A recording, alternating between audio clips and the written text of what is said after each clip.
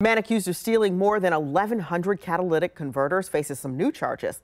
Tommy Cox of South Columbus was indicted on 42 new counts.